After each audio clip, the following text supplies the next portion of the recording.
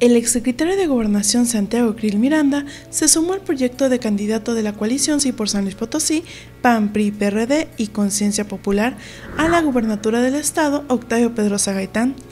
Durante el mitin que se realizó en la comunidad de Escalerillas, en el que participó Krill Miranda, quien además es candidato del Partido Acción Nacional a una Diputación Federal de Representación Proporcional, destacó la buena mancuerna que hacen Octavio Pedrosa para la gubernatura y Enrique Galindo Ceballos para la alcaldía de la capital, ya que son dos políticos que tienen más de 17 años trabajando juntos, cuando Octavio Pedrosa fue presidente municipal y Enrique Galindo fue director de Seguridad Pública Municipal.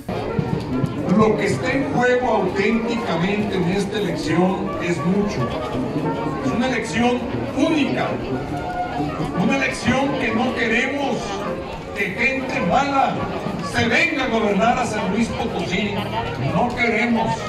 No queremos la inseguridad. En su intervención, el candidato a la gobernatura Octavio Pedrosa Gaitán le dio la bienvenida a Santiago Krill al combo y dijo que la hamburguesa de ese combo será el de San Luis Potosí con el que todos soñamos. Pedrosa Gaitán dijo que a diferencia de otros estados, en San Luis Potosí hay dos amenazas que está combatiendo la coalición, que son Morena y el Partido Verde Ecologista de México. Este último, un partido que cada seis años se vende al mejor postor. A diferencia de otros estados donde es la coalición contra Morena, aquí vamos la coalición contra dos. Pero si tres nos, tres nos ponen, a tres nos repasamos. El evento se efectuó en la Plaza 5 de Julio de la comunidad de Escalerillas, luego de que los candidatos recorrieron algunas viviendas y comercios de la comunidad.